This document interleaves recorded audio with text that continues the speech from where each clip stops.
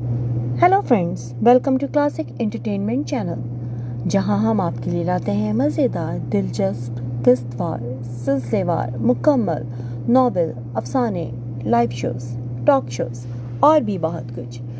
जनाब, आपका दिन मज़ीद खुशगवार बनाने के लिए आज से क्लासिक एंटरटेनमेंट चैनल शुरू कर रहा है एक खूबसूरत billion year romantic novel series महकता इश्क। तहरीर Seema Shahid video editing credit goes to कनबा Ghazi ये नावल रोज़ाना इसी टाइम पे चैनल पे अपलोड हुआ करेगा। और अगर आप चाहते हैं कि इसके अपलोड होते ही इसकी किस्त आपको फौरी मिल जाया करे तो जल्दी से चैनल को सब्सक्राइब कीजिए बेल नोटिफिकेशन के बटन को दबाइए, ताकि चैनल पे अपलोड होने वाली वीडियोस और ये सीरीज़ भी आपको सबसे पहले देखने और सुनने को मिले। तो जनाब, आप क्या जब्त अब नहीं आजमाते और शुरू करते हैं महकता इश्क? तहरीर सीमा शाहिद, किस्त नंबर एक। वीडियो क्रेडिट कन्वा गाजी। देखा किताब इश्क के औराक खोल कर अव्वल भी तेरा नाम था, आखिर भी तेरा नाम।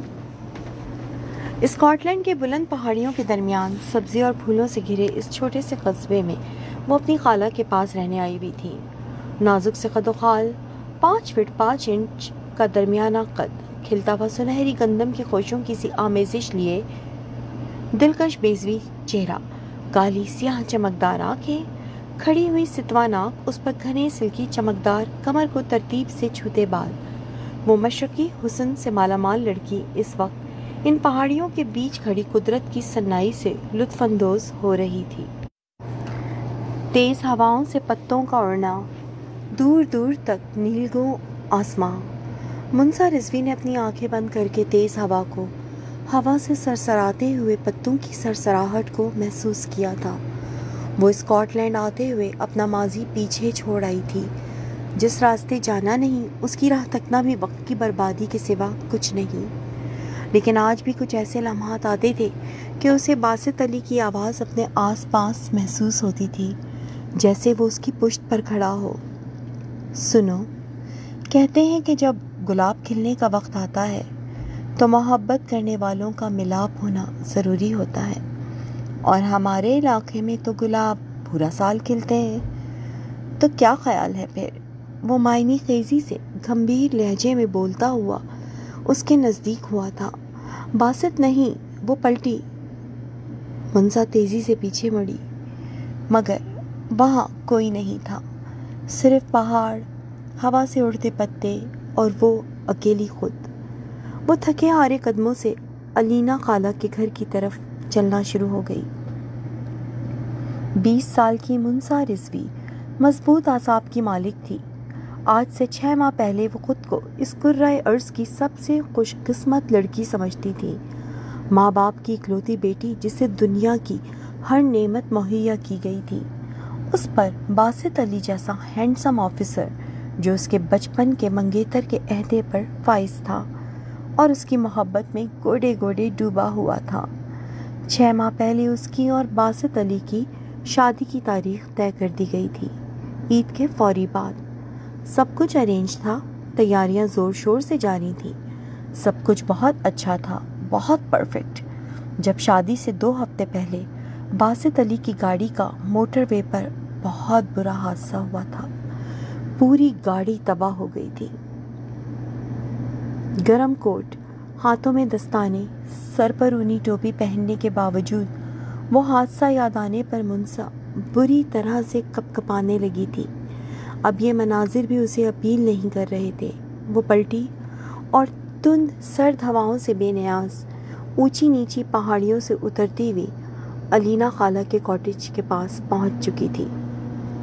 चारों तरफ़ फूल ही फूल थे, मगर उसे अपने जज्बात अपने एहसास छुपाने आ गए थे। अब उसने अपने और इस दुनिया के दरमियान एक शीशे की दीवार बना ली थी, ताकि कोई भी उसके नज़दीक ना आ सके, उसके अंदर ना झाँक सके। वैसे भी उसे यकीन था कि बासित के साथ सब ख़त्म हो गया। अब कोई भी उसे बासित अली की तरह नहीं चाह सकेगा। वो अभी तक उसकी यादों में खोई हुई थी अभी तक उससे इमोशनली अटैच थी। वो पुरानी यादों को झटकती हुई अपनी आँखों में आए आंसुओं को हथेलियों से साफ़ करती हुई खाला के घर के अहाते में दाखिल हो गई थी। उसे स्कॉटलैंड आए अभी सिर्फ़ दस दिन हुए थे। अलीना खाला उसका बहुत ख्याल रख रही थी, मगर जब दिल ही उदास हो तो कुछ भी अच्छा नहीं लगता। मनसा, अलीना खाला उसे अंदर आता देखकर खफगी से पास आई। कितनी देर से बाहर गई हुई हो? मैं परेशान हो गई थी। उनका शिकवा सुनकर वो फीके अंदाज में ज़बरदस्ती मुस्कुराई। अच्छा सुनो, आज शाम आत का। मेरी नंद ने तुम्हारे आने की खुशी में बारबेक्यू पार्टी अरेंज की है। जल्दी से तैयार हो जाओ, उन्होंने हिदायत दी। खाला, वो इनकार करने लगी थी कि अलीना उसकी बात काट गई। मैं इनकार हरगिज़ नहीं सुनने वाली। जब से मैंने आतिका को बताया कि तुम इधर घूमने फिरने आई हो तब से वो बुला रही है और तुम हर बार बहाना बना देती हो। वो नाराज़ हुई। अच्छा आप नाराज़ मत हो, मैं चलती हूँ आपके साथ। वो उनके नज़दीक आकर उनके शानी पर सर रखती हुई धीमे लहजे में बोली अच्छा बस, तुम कमरे में जाओ। मैंने तुम्हारे लिए ड्रेस निकाल कर रखा है, वही पहनना। मैं जब तक तुम्हारे लिए गरम गरम चाय बनाती हूँ। वो मुस्कुराते हुए उसका सर थपथपाकर किचन में चली गई। ये एक पुराने तर्ज का काफ़ी कुशादा खुला खुला सा घर था। जिसे उसकी खाला ने सलीके से सजाया हुआ था। स्कॉटलैंड के शहर एडनब्रा का ये नवाही इलाका पहाड़ियों, झीलों और फूलों से ढका हुआ था। वो जो कभी फूलों की दीवानी हुआ करती थी, जो अक्सर अपनी अम्मी से खाला के पास स्कॉटलैंड जाने की जिद किया करती थी, आज यहाँ आकर खुश नहीं थी। ये माहौल, ये मौसम, ये फूल, पहाड़, कुछ भी उसकी उदासी को कम नहीं कर रहा था। वो पुसमस्तगी से चलती हुई अपने कमरे में आई, जहाँ बेड पर उसकी खाला ने पार्टी में पहनने के लिए उसका ड्रेस निकाल कर रखा हुआ था। लॉन्ग शॉर्ट स्लीव, कीमती स्कर्ट ब्लाउज के साथ मैचिंग ज्वेलरी और स्वेटर। वो नाकदाना अंदाज में ड्रेस को देखती हुई अपने कैबिनेट की तरफ़ बढ़ी और अंदर से हल्के फिरोजी रंग की शीशे के काम वाली फ्रॉक और तंग पजामा सूट निकाला। पाकिस्तान से एडनब्रा आते हुए अम्मी ने कई लिबास ज़बरदस्ती उसके सामान में पैक कराए थे। ये उनमें से एक था। लिबास बहुत खूबसूरत था मगर वो बेदिली से लिबास उठाकर वॉशरूम का रुख कर गई कि तैयार तो होना था कि अलीना खाला का दिल वो तोड़ना नहीं चाहती थी, मगर उनका दिया लिबास भी वो पहन नहीं सकती थी। लिबास बदल कर वो वॉशरूम से बाहर निकल कर ड्रेसिंग टेबल के सामने आकर खड़ी हो गई। अपने लंबे कमर को छूते स्याह बालों की उसने कसकर चोटी बनाई। ज्वेलरी के नाम पर कानों में छोटे से डायमंड टॉप्स थे।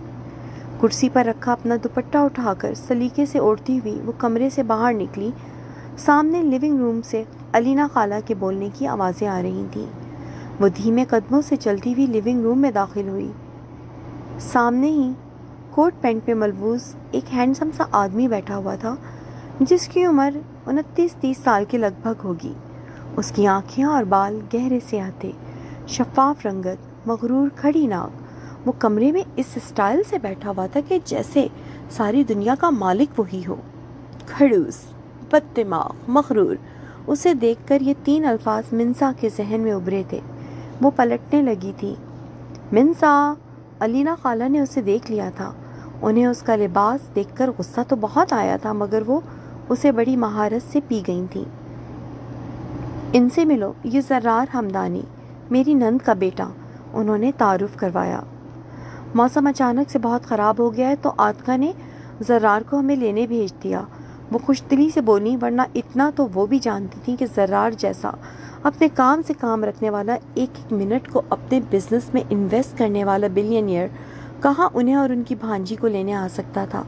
ये तो उनकी और आतका की मिली भगत थी, जरार और मिनसा रिजवी को मिलवाने के लिए। लेट्स को मामी जरार हमदानी खड़ा हो गया। हाँ हाँ बेटा, तुम मिनसा को लेकर गाड़ी तक चलो। मैं ज़रा घर लॉक करके आती हूँ। वो खड़ी हुई और मिनसा को उसके साथ जाने का इशारा किया। वो चुसपुस होती, अपनी खाला की हरकत पर शर्मिंदा होती हुई जरार हमदानी के पीछे चलती हुई बाहर ड्राइवे में पहुँची। बैठिए। जरार हमदानी ने आगे का दरवाज़ा खोला। वेट कीजिए, खाला आती होंगी। वो नरमी से बोलती हुई उसे इनकार कर गई थी। उसका इनकार जरार को ठीक ठाक कोफ्त में मुब्तला कर गया था। नॉनसेंस, वो बड़बड़ाया। कुछ ही देर में अलीना दरवाज़ा लॉक करके बाहर निकली। अपने तई तो उन्होंने इन दोनों को अकेले रहने का मौका दिया था, लेकिन यहाँ तो मिनसा बीबी एक कोने पर खड़ी थी और जरार हमदानी माथे पर बल्ली गाड़ी से टेक लगाए मुखालिफ सिमत, मुँह किए खड़ा था। चलें, वो कड़ी नज़रों से मिनसा को घुरती हुई जरार हमदानी के नज़दीक आई श्योर, उसने गाड़ी का दरवाज़ा खोला। मिनसा गुड़िया, तुम आगे बैठ जाओ। मिनसा जो पीछे बैठने लगी थी, उसे अलीना ने टोका और खुद जल्दी से पिछली सीट पर फैल कर बैठ गई। मिनसा यहाँ एडनब्रा सिर्फ़ अपना गम गलत करने आई थी। उसका मंगेतर मर चुका था। मगर यहाँ तो लगता था कि खाला ने मैच मेकिंग का काम संभाल लिया था। आए दिन वो उसे किसी न किसी से मिलवाती रहती थी और आज ये मगरूर इंसान उठा कर ले आई थी। वो सोचो में गुम दरवाजे के पास खड़ी थी जब जर्रार ने नागवारी से उसे टोका, मिस सिट डाउन वो आहिस्तगी से सिमट कर फ्रंट सीट पर बैठने के बाद दरवाज़ा बंद करके दरवाजे से लग कर बैठ गई थी। 20-25 मिनट की ड्राइव के बाद गाड़ी एक आलीशान विला के बाहर रुक गई थी। उन दोनों खाला भांजी के गाड़ी से उतरते ही जर्रार ने गाड़ी रिवर्स की थी और वहाँ से निकलता चला गया था। उसके जाने पर अलीना अपना दिल महसूस कर रह गई थी कि पार्टी तो सिर्फ़ एक बहाना था, जिसके ज़रिए वो और आतका उन दोनों को मिलवाना और आपस में बेतकल्लुफ़ करवाना चाहती थी। आओ, अंदर चलें। वो मिनसा का हाथ पकड़े अंदर आई, जहाँ बावकार सी आतका ने उन दोनों का गर्म जोशी से इस्तकबाल किया। ये विक्टोरियन तर्ज पर बना महल नुमा आलिशान सा घर। मकीनों की इमारत और शान शौकत का मुँह बोलता सबूत था। अंदर कई बावर्दी मुलाजमीन अपने अपने कामों में लगे हुए थे। वो आतका की हमराही में एक आरामदार लिविंग रूम टाइप गोल कमरे में पहुँची। उन दोनों को साथ लिए सोफे पर बैठती हुई आतका ने मुलाजमा को पहले ठंडा सर्व करने की हिदायत दी, फिर अलीना की तरफ़ मुतवजा हुई जो उनके भाई की बीवी, यानी उनके भाभी के अहदे पर फाइज थी। सलाम दुआ के बाद अलीना ने मुंसा रिजवी का तारुफ करवाया। माशाल्लाह, बहुत प्यारी रख रखाव वाली बच्ची है। आतका की नज़रों में मिनसा के लिए सताइश थी। आतका अपने शोहर की लाडली बेगम थी, जो स्कॉटलैंड की नवाब फैमिली में से थे, जिनके आबा अजदाद ने काफ़ी अरसा पहले इस्लाम कबूल किया था। खुश अखलाक और ख़ूबसूरत सी का पढ़ाई के लिए इंग्लैंड आई थी और हमदानी साहब को भाग गई थी। वो उनको पाने के लिए ज़िद पर अड़ गए थे। यूँ आतका की शादी इतने बड़े नवाबी ख़ानदान में हुई थी और वो पाकिस्तान और रिश्तेदारों से कट कर रह गई थी। अब उनकी एक ही ख्वाहिश थी कि अपने लाडले बेटे के लिए कोई खूबसूरत सी ख़ानदानी पाकिस्तानी लड़की लाएँ। मगर वो सोने का निवाला मुँह में लेकर पैदा होने वाला बलाक खुड़ूस और ख़ुद आगा, हैंडसम मर्द अपने परों पर पानी नहीं पड़ने देता था। उसके प्लान्स में शादी दूर दूर तक नहीं थी। अब वो तीस का होने वाला था। जब उन्होंने अलीना से उनकी भांजी के बारे में सुना, उसकी तस्वीर देखी तो वो क्यूट सी, गुलाबों जैसी लड़की उन्हें भा गई थी। उन्होंने ही अलीना से बात करके बिना किसी को भनक दिए मिनसा को एडनब्रा बुलवाया था हती कि खुद मिनसा तक को इल्म नहीं था और आज ड्राइवर्स के होते हुए उन्होंने जरार को मिनसा और आतका को लेने भेजा था और वो उन्हें घर के दरवाजे पर उतार कर चला गया था। उन्हें अपने लाडले पर गुस्सा आ रहा था, मगर अपना गुस्सा जब्त किए वो मिनसा से छोटी छोटी बातें करती रही थी। जी जनाब तो कैसी लगी पहली किस्त? ये नावल अब से रोज़ाना इसी वक्त पोस्ट हुआ करेगा। ये उम्मीद है कि आप लोग इसे पसंद करेंगे आपको ये अच्छा लगेगा। और जनाब, अब अगर अभी तक आपने चैनल सब्सक्राइब नहीं किया है तो जल्दी से चैनल सब्सक्राइब कर लीजिए।